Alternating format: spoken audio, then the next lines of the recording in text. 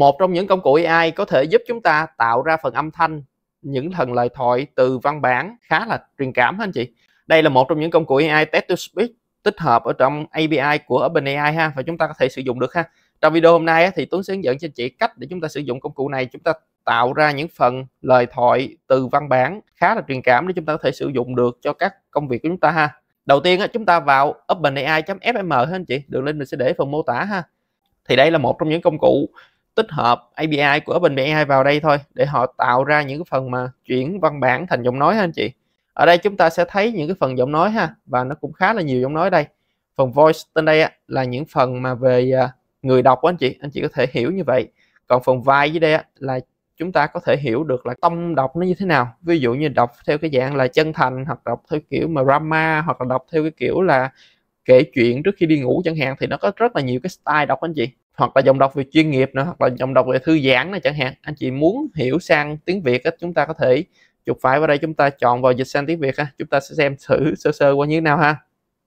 Ở đây thì giao diện nó cũng rất đơn giản thôi anh chị. Ở đây chúng ta có thể chọn giọng nói trên đây nè.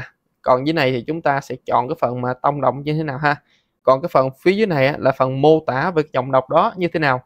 Còn phần mà kịch bản bên đây tức là phần mà chúng ta muốn cái công cụ đó nó đọc như thế nào ha. Rất đơn giản như vậy thôi bây giờ giả sử mình sẽ thử tiếng Việt trước ha. Mình sẽ có một cái đoạn như thế này. Mình sẽ copy một cái đoạn này vào đây. Và mình sẽ chọn một cái giọng đọc kiểu như của Aloy chẳng hạn. Và mình sẽ chọn giọng đọc là chuyên nghiệp. Sau đó chúng ta chỉ cần bấm vào play. Hôm nay trời mát thật, vừa bước ra khỏi nhà đã thấy gió nhẹ lùa qua mái tóc. Tôi quyết định ghé quán cà phê quen, gọi một ly đen đá, ngồi ở góc cũ, nắm dòng người qua lại. Có những ngày bình yên như thế, chỉ cần một chút cà phê và một chút thảnh thơi. Đấy là một cái dạng giọng đọc về professional hả anh chị? Cũng là cái phần script đó nhưng mà chúng ta sẽ chọn những cái giọng đọc khác thì cái tông đọc và cái cách đọc nó sẽ khác nhau hả anh chị? Ví dụ như bây giờ mình sẽ chọn cái giọng đọc kiểu drama ha, mình sẽ chọn đây là dramatic ha. Nếu như anh chị muốn chọn giọng đọc nào thì anh chị cứ bấm cái nút refresh nè ha thì nó sẽ xoay vòng ha. Những cái giọng đọc như thế nào và chúng ta sẽ thấy giọng đọc và chúng ta có thể chọn ha ví dụ như cũng là cái script này nhưng mà dòng đọc drama thì kết quả nó sẽ như thế này. Hôm nay trời mát thật. Vừa bước ra khỏi nhà đã thấy gió nhẹ lùa qua mái tóc. Tôi quyết định ghé quán cà phê quen gọi một ly đen đá ngồi ở góc cũ ngắm dòng người qua lại. Có những ngày bình yên như thế chỉ cần một chút cà phê và một chút thảnh thơi. Kiểu giọng đọc này nó giống như là câu chuyện kể chuyện ma anh chị. Giống kiểu như là Nguyễn Ngọc Ngàn mà hay dùng cái tông độc đó, đó để mà kể chuyện ma thì chúng ta hoàn toàn có thể sử dụng được ha. Và khi mà anh chị chuyển cái phần giọng đọc này rồi á thì chúng ta có thể bấm vào download ha. Và chúng ta có một cái điều lưu ý á, là khi mà chúng ta chuyển giọng đọc rồi á thì anh chị hãy bấm vào download luôn ha.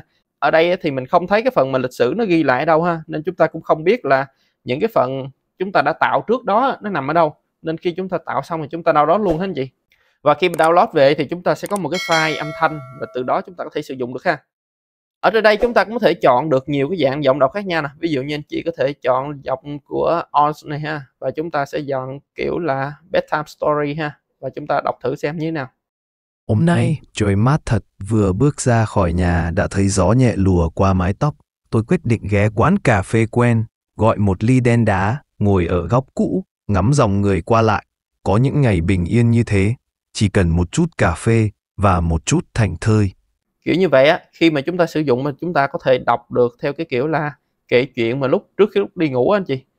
Những cái phần giọng đọc như thế này chúng ta có thể sử dụng miễn phí ha. Hiện tại chúng ta có thể sử dụng và chúng ta có thể áp dụng vào công việc chúng ta rất là nhiều bởi vì á đôi khi chúng ta xây những kênh mà về à, kiểu như là kể chuyện cho bé nghe này hoặc là những cái kênh về drama hoặc là những cái kênh về truyện ma chẳng hạn đi thì anh chị cần phải có những cái giọng đọc nó phù hợp với lại cái giọng đọc của cái kênh chúng ta. Ví dụ như anh chị làm những cái dạng về kênh robot đi, thì trong đây nó cũng sẽ có những cái giọng đọc về robot chẳng hạn. Chúng ta có thể sử dụng và chúng ta phù hợp với từng nhân vật chúng ta ha, thì nó sẽ phù hợp hơn là chúng ta sử dụng một công cụ nào đấy. Chúng ta chuyển tất cả dòng đọc nó đều như nhau hết anh chị? Thì nó sẽ không có được hay lắm ha. Đó là tiếng Việt ha, còn bây giờ mình sử dụng thử tiếng Anh xem như thế nào ha. Tiếng Anh thì mình nghĩ nó sẽ đọc tốt hơn anh chị, bởi vì các công cụ AI hiện tại thì đa phần là họ sử dụng tiếng Anh á, và tiếng Anh thì luôn luôn nó sẽ tốt hơn tiếng Việt khá là nhiều. Có thể là do cái ngữ điệu và do cái cách mà họ train á dữ liệu đầu vào á, thì họ sử dụng tiếng Anh á, thì nhiều hơn hết anh chị? Ví dụ như bây giờ mình sẽ chọn phần tiếng Anh ở đây mình chọn cái giọng là streamer nè và mình sẽ tìm một cái giọng robot chẳng hạn. Chúng ta sẽ run ở đây chúng ta tìm một cái giọng robot chẳng hạn. Ở đây đã có cái giọng robot rồi và chúng ta chỉ cần bấm vào play. The breeze was gentle this morning, brushing past as I stepped outside. I made my way to my favorite cafe, ordered a cold brew, and settled into my usual corner seat. đây là cái cách mà khi mà chúng ta sử dụng như cái giọng như thế này ha anh chị khá là dễ sử dụng ha và nó rất là đơn giản ok anh chị đây là hướng dẫn ngắn của mình về công cụ OpenAI.fm này anh chị đây là một trong những công cụ mà họ tích hợp vào API của OpenAI để chúng ta có thể sử dụng được ha. Đương nhiên là chúng ta vẫn có thể sử dụng được rất là nhiều công cụ khác nữa. Chúng ta có thể tạo ra những phần dòng đọc riêng về tiếng Việt thì chúng ta có thể sử dụng về VB chẳng hạn, hoặc là tiếng Anh thì chúng ta, ngoài công cụ này chúng ta cũng còn rất là nhiều công cụ khác anh chị? Nhưng mà hiện tại công cụ này là một trong những công cụ miễn phí và anh chị có thể sử dụng. Chúng ta tạo ra dòng đọc mà chúng ta có thể chọn được tông đọc như thế nào thì mình thấy nó cũng khá là phù hợp. Chúng ta sử dụng ha nếu như anh chị thấy video này hay, anh chị cho mình một like, một subscribe nhé. Và chúng ta sẽ hẹn gặp lại trong các video lần tới trên channel nghề công sở.